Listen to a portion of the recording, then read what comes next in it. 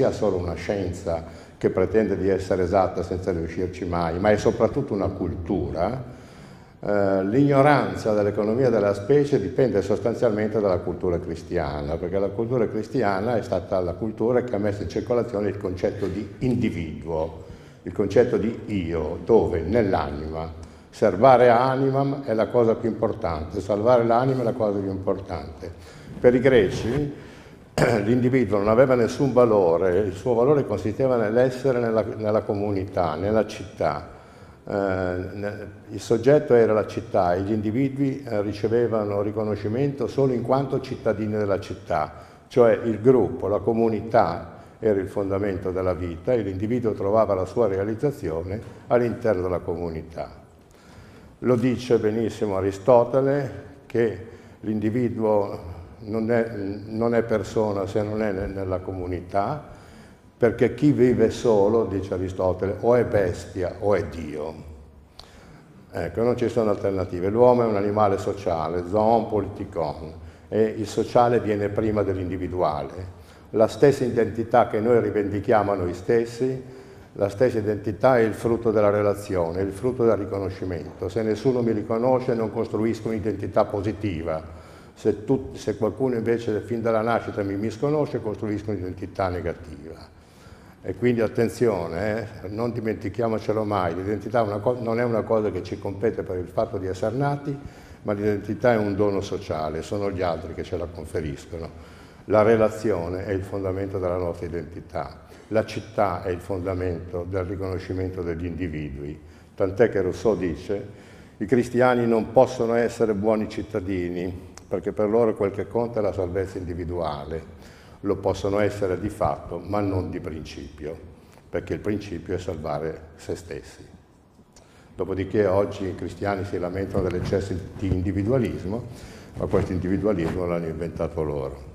I greci non avevano questa nozione, anzi, i greci assumevano la natura come quello sfondo immutabile che nessun uomo, nessun Dio fece.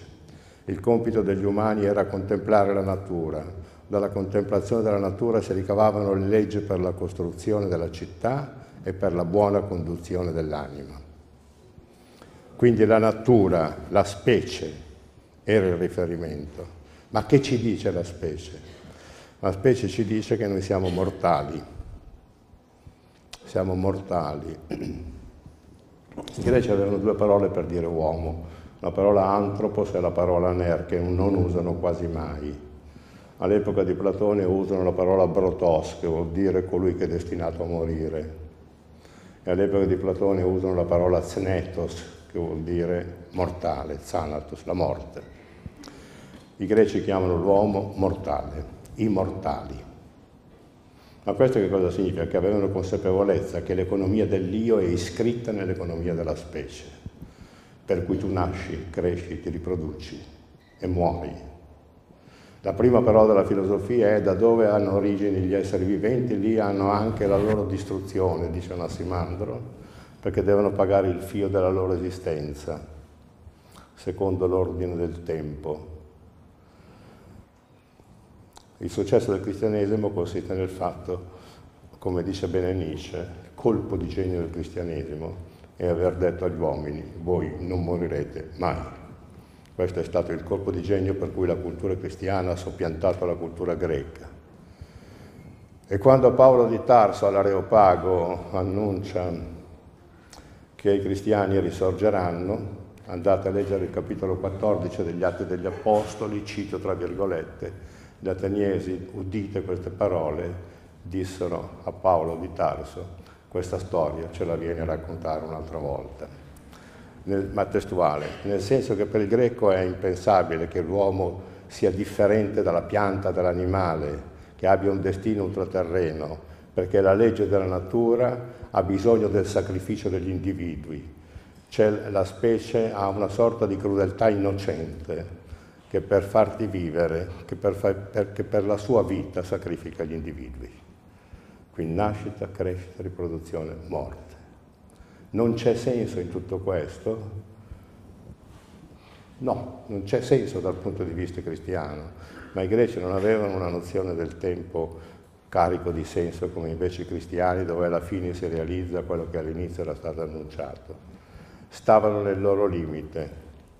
E come si raggiunge la felicità in un contesto così desertificato dagli ideali dell'io, dai sogni dell'io, come si realizza la felicità? Lo dice bene Aristotele nel libro dell'Etica, quando dice scopo della vita è la felicità, non l'hanno inventato gli americani, gli americani pensano di averlo inventato perché non capiscono, non leggono mica gli antichi greci. Prima frase dell'etica è questa, scopo della vita è la felicità. E la felicità in greco si dice eudaimonia, eudaimonia, buona riuscita, eu vuol dire buono, buona riuscita del tuo demone. E cos'è il demone? Il demone è ciò per cui sei nato, è la tua vocazione, la tua inclinazione, e prima la devi riconoscere per poterla realizzare. Quando la conosci e la realizzi, gnoti auton, conosci te stesso, questo è il primo motto dell'oracolo di Delfi ripreso da Platone, ma poi arrivi il secondo monito, forse più importante del primo, dopo che hai conosciuto te stesso, realizzati catametron, secondo misura, non oltrepassare la misura. Puoi essere un bravo attore, ma forse non sei bravo come, come Mastroianni, se tenti di diventare come lui non avendo la possibilità, incontri la tua sciagura, incontri la tua rovina. Catametron, secondo misura. Ma da dove viene questo concetto di misura? Dal fatto che la misura di tutte le misure è la morte.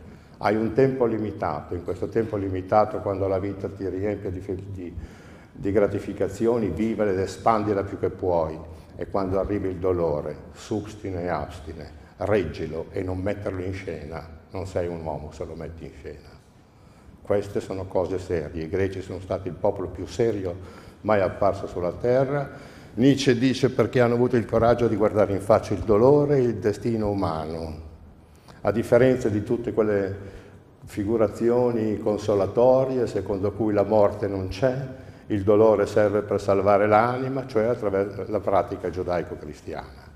Io sono greco e quindi vi dico queste cose a partire da questa mentalità greca. Non è interessante essere credenti o non credenti, bisogna decidere se si è greci, cioè si crede alla morte e si crede che la nostra vita è regolata dall'economia della specie, oppure si è cristiani e si crede che la nostra vita è regolata dal nostro io e dai nostri sogni e dai nostri ideali. In questo senso un greco muore seriamente, prendete Socrate, quando gli dicono guarda che possiamo uscire da questa prigione perché ho parlato con i 30 tiranni, qui c'è una barca, ti portiamo fuori, ce ne andiamo, anche loro gli va bene non uccidere Socrate, visto che sei famoso si potrebbero creare disordini in città. E Socrate gli risponde, quello che avevo da insegnare vi ho insegnato, vi ho detto di rispettare le leggi qualunque esse siano, giuste o sbagliate che sono. Ho chiuso il mio ciclo, ecco qui il senso del limite, datemi la cicuta e non se ne parla più. Gente seria. Si è confrontato questa morte con quella di Gesù, invece abbiamo un'esposizione del dolore spaventoso, l'ultima cena, tu mi tradirai, l'orto degli ulivi, i discepoli che dormono, qualcuno che lo tradisce, il calvario, la flagellazione, la corona di spine, la freccia nel petto, mio Dio perché mi hai abbandonato?